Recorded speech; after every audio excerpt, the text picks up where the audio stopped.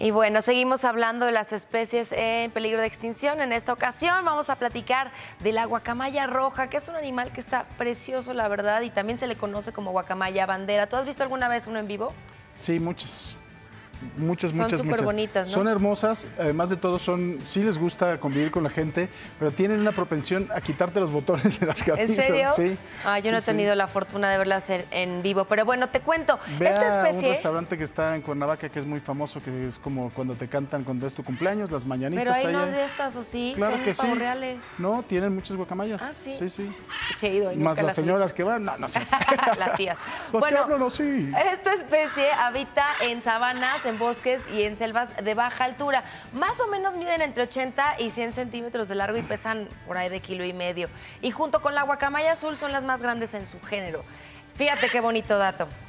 Esta especie son monógamos y los huevos y las crías también las cuidan entre el macho y la hembra. Todas quisiéramos un guacamayo, ¿no? Porque sí, se hacen Sí, cargo claro. los dos de, de las crías y de los huevillos. Bueno, estas viven más o menos entre 30 y 50 años o si están, esos están en cautiverio. Pero si están en libertad, más o menos viven entre 15 y 20 años. ¿Y por qué se están extinguiendo, Paco? Fíjate, la caza ilegal es muy común, los usan para, para hacer los aves domésticas. Y bueno, pues muchas personas. Sí. Dime, dime. No, sí, es que esa es la realidad. Incluso a veces, hace tiempo, sobre las carreteras de algunos lugares, por ejemplo, como Chiapas y así, te vendían, en algún eh, paraje de carretera, te vendían las guacamayas. Así chiquitititas. es. ¿Y además. sabes qué es lo malo de eso? Que las personas en realidad no saben los cuidados que requiere el tener una guacamaya en casa y por eso mueren.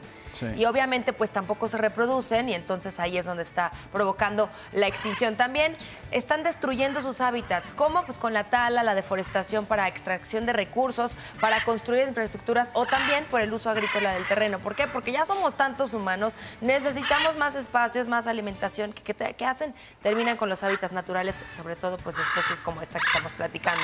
Fíjate, se estima que en los últimos 40 años el 90% de nuestras selvas han desaparecido. Sí, Imagínate, la verdad es que, pero si, si tiene usted, son animales hermosos, son aves hermosas, pero tenerlas en su casa es una crueldad. La verdad, no lo haga y no caiga en esa tentación, a menos de que tenga usted una UMA, que es este plan de manejo adecuado y que esté autorizado por la Semarnat, pero no sé si le estén dando este tipo de autorizaciones en un animal en peligro de extinción. Y bueno, al ser un animal en peligro de extinción, se hacen zonas donde pues se, se encuentran protegidas esta especie. En México hay una que es la Reserva de la Biosfera de Montes Azules, que está aquí en México. Hay otra en Belice que se llama el Parque Nacional Chiquibul. Y en Guatemala hay otro que es la Reserva de la Biosfera Maya. Ahí es donde se conserva esta especie. Y si tú quisieras buscar dónde, dónde habita la guacamaya en México, pues la encuentras en el sur de Tamaulipas, en San Luis Potosí, en Veracruz, en Campeche, en Tabasco, en Oaxaca y en Chiapas. ¿En Oaxaca? Oaxaca. Ah, es que ese yo creí que era más abajo.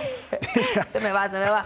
Y nada más, ¿qué crees? Nada más quedan de 400 a 500 parejas en vida en nuestras selvas en el Eso país, que es- son muy poquitas. Es una tristeza. La verdad es que sí.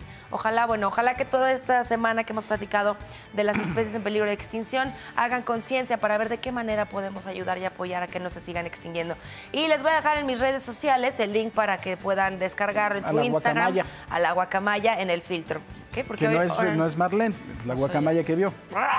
No sé ni cómo le hacen. bueno, vamos con más información, Paco. Gracias, Marlene.